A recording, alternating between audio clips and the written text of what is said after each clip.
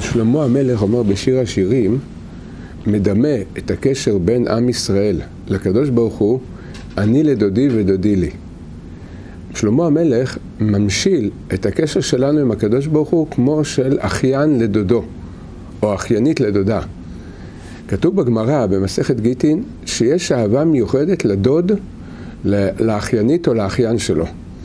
זה חלק מהבריאה שיש כזאת אהבה. אומר, אומר שלמה המלך בשיר השירים, כל המהות של חודש אלול זה אני לדודי ודודי לי, שהקדוש ברוך הוא אומר, אני רוצה להתגלות בבחינת הדוד שלכם. הדוד מוכן לחפות על כל הפשעים, כי אהבה תכסה על כל הפשעים. איך אנחנו יכולים לזכות שהקדוש ברוך הוא בראש השנה יכפה על כל מה שעשינו לא טוב כל השנה? זה דודי לי, אבל זה מתחיל אני לדודי. העצה לספר לקדוש ברוך הוא כל מה שעבר עלינו. לבקש ממנו שירחם עלינו, שיהיה לנו סייעתא דשמיא, שימחול לנו על כל מה שעשינו לא בסדר. זה נקרא אני לדודי.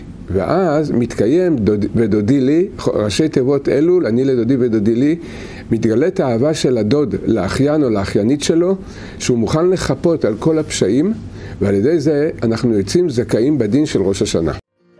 להקדשת השיעורים של הרב להצלחה, לזיווג, שלום בית, רפואה, לעילוי נשמת. התרומה עבור עזרה להפצת התורה. ניתן לפנות לטלפון 02-650-2929.